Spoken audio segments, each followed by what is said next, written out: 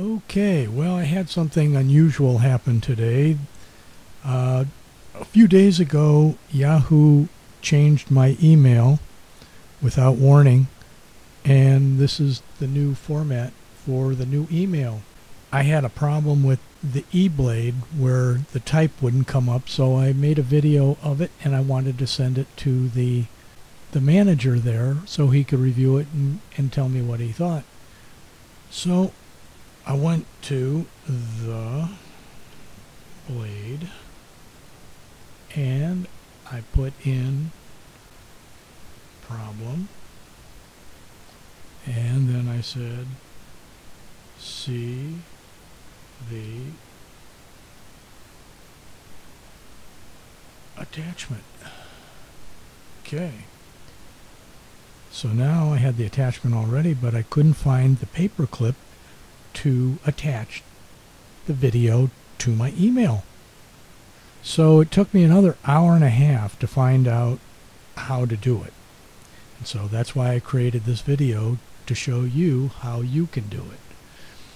What you do is you bring your mouse down just right to the send uh, button right down there and they're invisible so all you do is you move it a little bit to the right and there it is. Attach or drag and drop.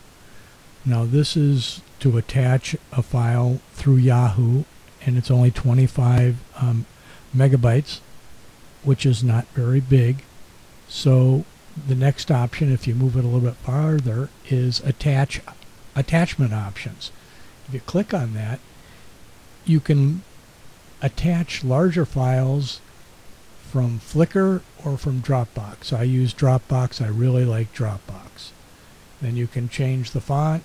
You can make it bold, italic, or the text color. Well, there's other one. Insert link, check spelling, language, switch to plain text.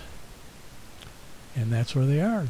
They're invisible and they're just right of the send button.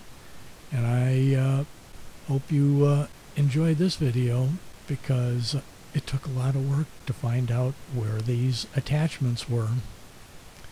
Thanks for watching.